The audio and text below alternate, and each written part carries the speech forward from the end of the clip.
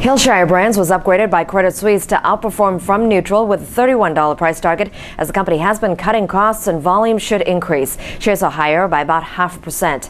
Tiffany was upgraded today by Goldman Sachs to buy from neutral with a $70 price target as the firm believes that the brand is strong despite a slowdown in the luxury goods sector. Shares are higher by about 4.8%. This is Sayoko Marase for PassFail.com taking you behind the ticker.